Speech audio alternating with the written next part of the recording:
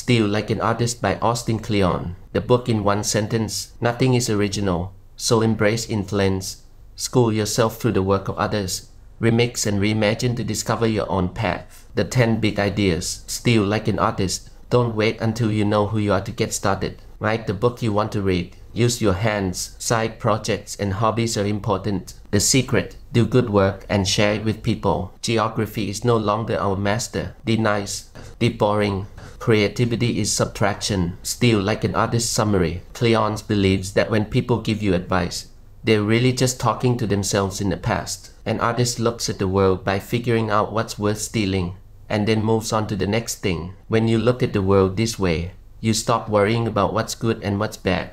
There's only stuff worth stealing and stuff that's not worth stealing. A good artist understands that nothing comes from nowhere. All creative work builds on what came before. Nothing is completely original. Andre Gide once said, Everything that needs to be said has already been said. But since no one was listening, everything must be said again. Every new idea is just a mashup or a remix of one or more previous ideas. You're only going to be as good as the stuff you surround yourself with. Your job is to collect good ideas. The more good ideas you collect, the more you can choose from to be influenced by. Study everything there is to know about one thinker. Then find three people that thinker loved and find out everything about them. Repeat this as many times as you can. John Waters once said, collect books, even if you don't plan on reading them right away. Nothing is more important than an unread library. Carry a notebook and a pen with you wherever you go. Get used to pulling it out and jotting down your thoughts and observations. In Kleon's experience, it's in the act of making things and doing our work that we figure out who we are. Plagiarism is trying to pass someone else's work off as your own. Copying is about reverse engineering. The writer Wilson Mizner said if you copy from one author, it's plagiarism.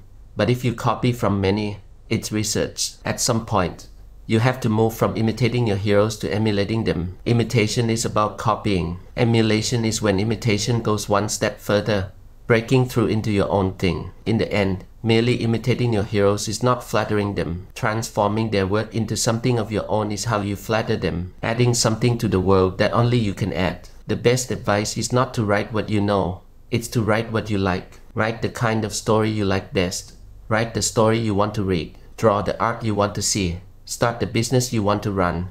Play the music you want to hear. Write the books you want to read. Do the products you want to use. Do the work you want to see done. If you have space, set up two workstations, one analog and one digital. It's the side projects that really take off. If you're out of ideas, Wash the dishes. Take a really long walk. Stare at a spot on the wall for as long as you can. Do good work and share it with people. If you talk about someone on the internet, they will find out. The best way to vanquish your enemies on the internet. Ignore them. The best way to make friends on the internet. Say nice things about them. If you ever find that you're the most talented person in the room, you need to find another room. Instead of keeping a rejection file, keep a praise file. It takes a lot of energy to be creative. You don't have that energy if you waste it on other stuff. Learn about money as soon as you can. Establishing and keeping a routine can be even more important than having a lot of time. Figure out what time you can carve out, what time you can steal, and stick to your routine. In this age of information abundance and overload,